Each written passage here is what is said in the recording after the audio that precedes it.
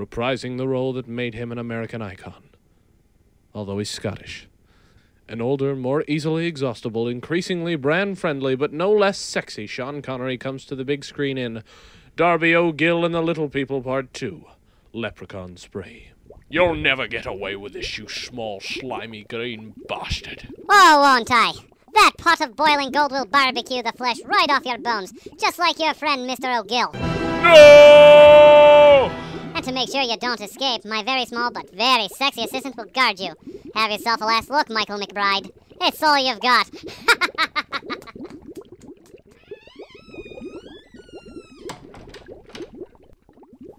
Do you like working for him, Miss? Stone! Miss Blarney Stone. I have a wish. Do you think it will come true? I won't know until you come closer. You have to kiss the Blarney Stone before you make a wish, you know. Well then, hope you've got your mind set on something.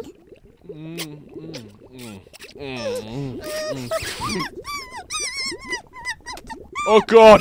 Bloody! Dear Bloody! I, uh,